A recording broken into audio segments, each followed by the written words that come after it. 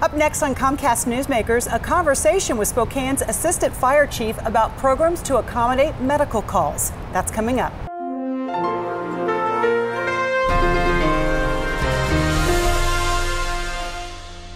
Hi, welcome to Comcast Newsmakers. I'm Sabrina Register. Today we are in Spokane at the Flour Mill. And joining me right now, Brian Schaeffer, who is Assistant Fire Chief for Spokane Fire Department. Well, Sabrina, hi. Nice to see you. Thanks so much for coming on the program. Well, thanks for inviting us. Absolutely. So, obviously, you all respond to fires, that's what you all do, but a large part of uh, your time and resources spent is responding to medical calls. Absolutely. The, the medical side of what we do is our most increasing uh, volume of incidents. Along with that increase, we've also seen a dramatic increase of non-emergency uh, or, or minor medical incidents.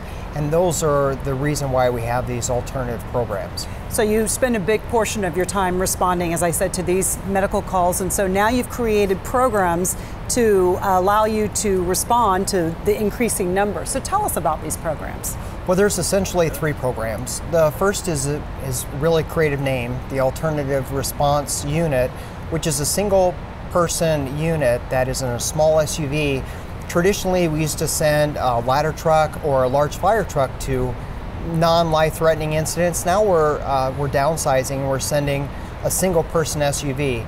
It's far more economical, uh, much more um, easy to get around Spokane's mm. traffic, and and overall it just increases our efficiency because in the past we used to send that big fire truck and then they were unavailable for the life-threatening calls. And we've had a lot of success over the past six months with that program. So you leave the big fire truck for the life-threatening calls and you take the smaller SUV to respond to those that are not life-threatening. Absolutely. It costs us around uh, eight times more to send a fire truck in maintenance, operation, and capital costs than it does a smaller single-person unit. So it's very efficient uh, a very efficient use of taxpayers' dollars. Yeah, big difference. And talk about the other two programs. Uh, the other two programs are uh, extremely innovative. Uh, one is called CARES. The acronym essentially takes, or the program essentially takes uh, students from Eastern Washington University that are enrolled in the Master's of Social Work program and integrates them in with our medical services.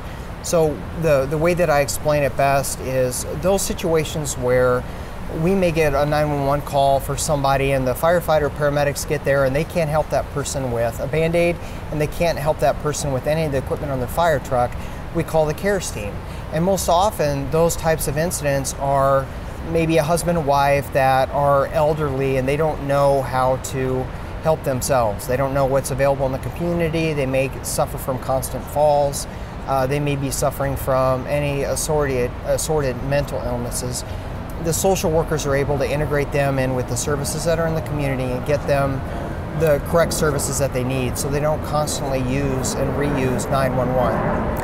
And what about the final program? The, the final program is a program that, that we call Hotspotters.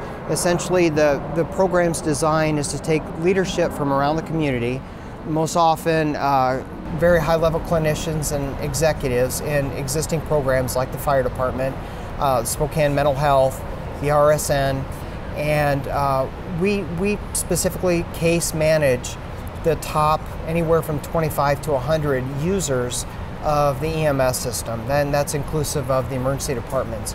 We have some people in this community that overuse and abuse uh, hospital resources and 911 resources over 80 times a year. Wow. It puts a substantial strain on the healthcare system for all of us.